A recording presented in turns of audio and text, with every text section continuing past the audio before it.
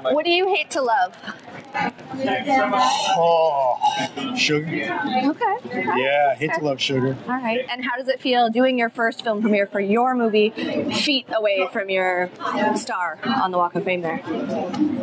Yeah, it's crazy, isn't it? Isn't all that stuff cool. crazy? It's pretty cool. Star on the walk of.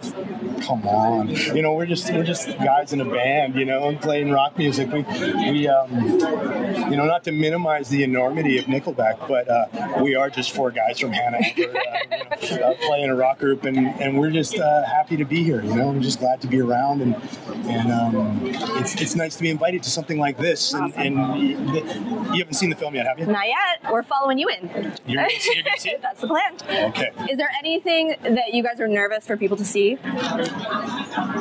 Backstage fighting? The truth. The truth. All right. Yes, the truth is the thing that makes me the most nervous.